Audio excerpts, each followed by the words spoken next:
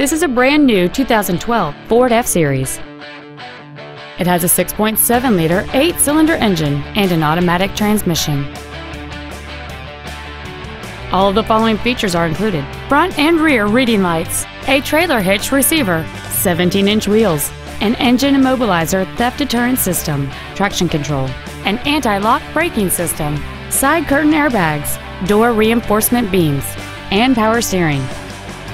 Contact us today and schedule your opportunity to see this vehicle in person.